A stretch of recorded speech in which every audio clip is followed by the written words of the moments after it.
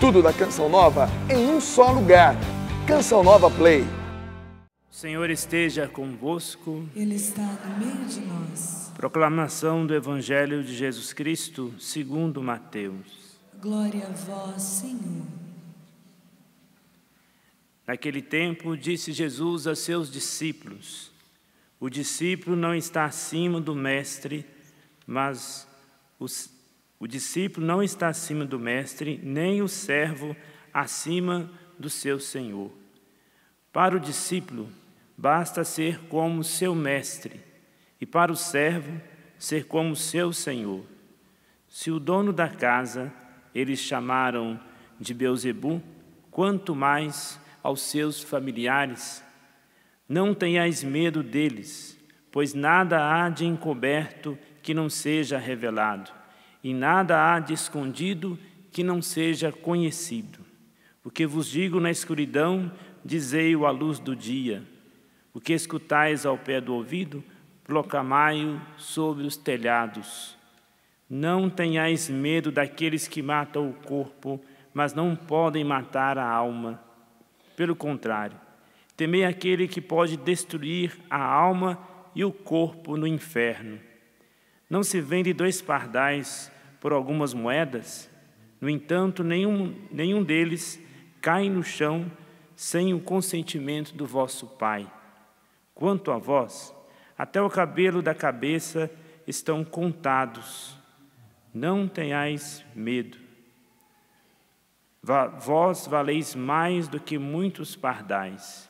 Portanto, todo aquele que se declarar a meu favor diante dos homens, também eu me declararei em favor dele, diante do meu Pai que está nos céus.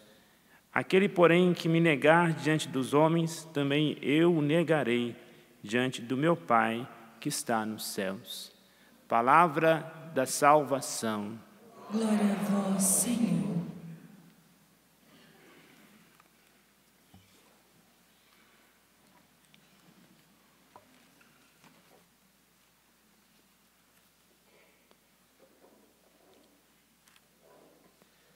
Podemos dizer que nessas duas leituras que nós escutamos, primeiro a leitura de Isaías, depois o Evangelho, o próprio Jesus nos falando, né? essas leituras, ambas, talvez possam nos falar deste temor da presença de Deus. Essa experiência que Isaías fez, né, de temor na presença de Deus, né, de um Deus que se revela e que ao mesmo tempo nos chama para uma missão. E o contexto do Evangelho também é um contexto de missão. Nós estamos no contexto da missão que Jesus está falando durante a semana no Evangelho. Então, ambas as, ambas as leituras nos falam justamente desse temor na presença de Deus. E temor de Deus significa um respeito, uma reverência a Deus, uma obediência a Deus, uma adesão profunda a Ele, de tal forma que é um amor que eu não quero ofender a Deus, uma adoração. Ele é o centro da minha vida, Ele é meu Senhor, é meu Deus. Como nós dizemos e como nós expressamos e cantamos no Salmo, né? Reina o Senhor, revestiu-te de esplendor. Mas também ambas as leituras quer nos falar também sobre um tema também importante diante desse temor de Deus, do amor a Deus. Nós temos o não tenhais medo, que Jesus vai dizer, não temais, que justamente é aquele que nos ama, o próprio Senhor que nos ama, e que por nos amar nos toca, nos purifica, como tocou Isaías, para que assim não tenhamos medo, não temais, porque eu estou convosco, eu estou convosco, várias vezes Jesus disse no Evangelho. Esse não temais também no sentido daquela experiência que a Virgem Maria experimentou no anúncio do anjo. Ela se sentiu o quê? Frágil, limitada, uma criatura frágil, limitada. Assim também, esse medo, no sentido também, nós nos sentimos frágeis, limitados diante deste grande amor de Deus. E a Virgem Maria expressou isso, onde o anjo lhe diz: Não tenhais medo, Maria, ou seja, confiança. Esse medo que nos leva, do outro lado, a viver uma relação de confiança, que o Senhor está conosco. Mas também nós temos esse outro lado, que o medo pode nos levar a uma paralisia, pode nos, pode nos paralisar. Mas também pode ser né, uma paralisia que é uma prudência, um aviso prévio de um perigo para evitar um desastre, um instinto também de conservação. O homem começa a refletir sobre as consequências daquela ação e acaba não praticando aquilo que vai destruir a si mesmo, destruir os outros, destruir talvez a sua própria família. Mas também o medo não é somente um instinto de conservação. Para o discípulo de Jesus, para o cristão, o medo também tem uma característica espiritual, que começa talvez assim no instinto de conservação e depois atinge um nível mais profundo, que é o sentido espiritual. Por exemplo, o medo de cometer um pecado grave, que vai ter consequências na minha vida, na vida da minha família. Por exemplo, um pecado de adultério. A pessoa começa a refletir a consequência de, daquilo na vida dela, na vida da família dela, que vai destruir uma relação conjugal, que vai destruir a relação com os filhos, e vai ter consequências na sua vida pessoal, mas não somente isso, ela começa a tomar consciência e a refletir na consequência espiritual desse pecado que é a morte da alma, a separação eterna de Deus, ou seja, colocar em risco a salvação da sua alma, como Jesus diz no final: temei aquele que pode destruir a alma e o corpo no inferno. É o juízo final. Eu quero colocar em risco a minha alma. Esse medo é bom nesse sentido que nos leva a fugir do pecado, sair daquela situação que nos leva a perder a alma.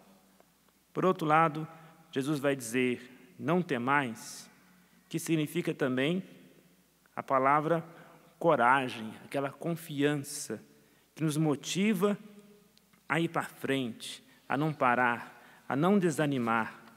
Ou seja, Jesus está dizendo que a missão ela vai ter características extremas, vai chegar ao extremo, vai incluir perseguição e até mesmo a morte. Jesus então vai dizer: não temais, repetindo isso várias vezes de forma imperativa, convidando o discípulo a não ter medo, né? ou seja, né, a ter aquela coragem. Coragem é aquela pessoa, a pessoa de coragem é aquela pessoa que não se esconde, mas enfrenta os desafios, enfrenta os medos, com a ajuda daquela força interior. Essa força interior que se encontra lá no interior é Deus, é o amor de Deus, é aquela experiência com Deus, é aquela experiência da graça de Deus interior mais profunda que nos leva a ter aquela coragem que no latim significa cor, né, que é o coração, depois coragem, agir com o coração. Aquele agir no sentido de que o coração a sede das nossas emoções, nossos pensamentos, da nossa vontade, nossa inteligência, que representa a nossa mente, a nossa alma aquele coração forte que está tão mergulhado em Deus que enfrenta todos os problemas. A pessoa com essa coragem de Deus, ela tem essa ousadia.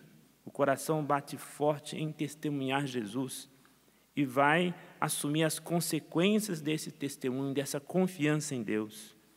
Então, o medo pode, de certa forma, nos levar a algumas paralisias, impedir de alguns perigos, até mesmo que percamos a nossa alma, mas o medo também pode nos levar a viver e a tomar consciência das fraquezas, nossos limites, a nos abandonar em Deus, tomar consciência do amor de Deus que nos conduz e nos leva também a ter essa coragem de testemunhar Jesus.